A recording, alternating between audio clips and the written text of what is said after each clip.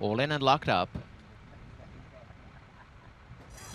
Away they run, and Martin River came out sharply with the lead. Martin River from on the inside, Silent Vision. They got out by two lengths to Executive Sight.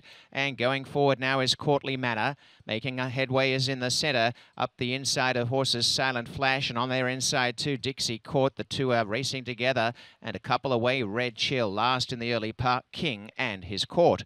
Martin River in front. Executive Sight second, coming forward, Courtly Manor. Back on the inside, Silent Vision. Silent Flash is warming up, and then Dixie as they come inside the quarter.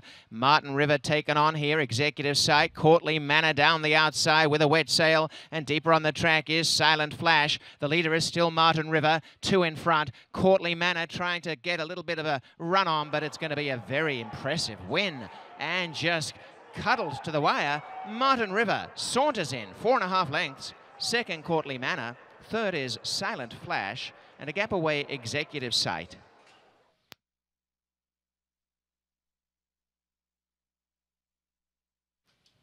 Fifty-two forty-three.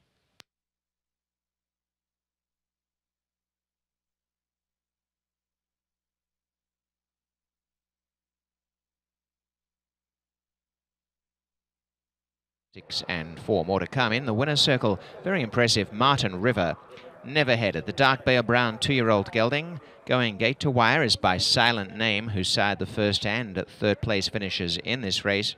And Silent Name and Money Shaker, the Siren Dam combination here. Jennifer Luty bred the winner. David Bell, winning owner and trainer. Winning jockey, Jesse Campbell.